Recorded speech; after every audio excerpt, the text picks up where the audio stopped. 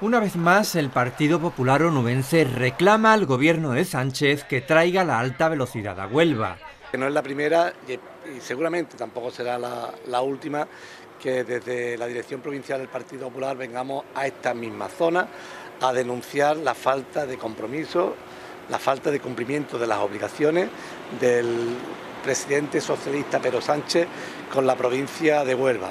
Son muchísimas las veces que hemos venido a este mismo lugar para reivindicar, para exigir lo que a Huelva le corresponde.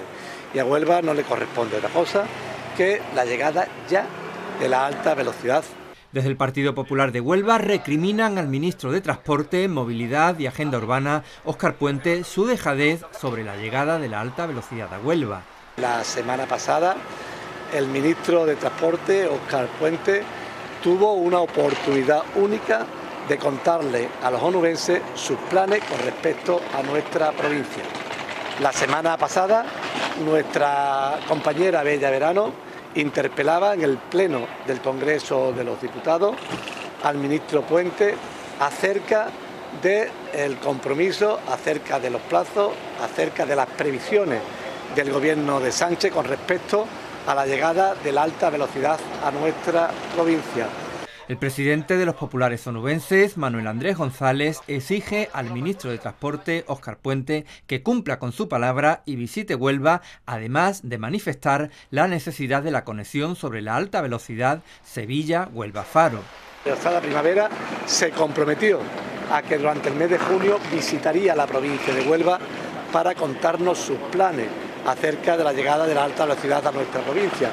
Y han pasado tres veces y el señor Puente ni ha estado y parece que ni se le espera. Además, el señor Puente no solo perdió esa oportunidad de contarnos a todos sus planes con respecto a la provincia de Huelva, sino que además mintió. Y mintió al afirmar que el país vecino de Portugal no quería la conexión de alta velocidad entre Sevilla, Huelva y Faro. Mañana los populares, a través del senador Juan Manuel González, interpelarán nuevamente a Óscar Puente sobre la llegada del AVE a Huelva. El señor Puente tiene la próxima, esta semana, mañana concretamente, una nueva oportunidad, ya que nuestro senador Juan Manuel González, en el pleno de la Cámara Alta, va a interpelar de nuevo al señor Puente sobre la llegada de la alta velocidad a nuestra provincia como podéis comprender, para nosotros es una prioridad.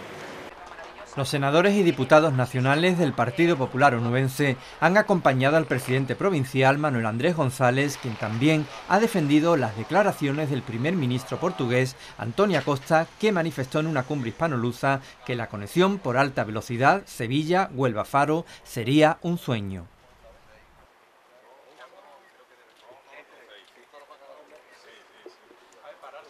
Venga, nos paramos aquí. Este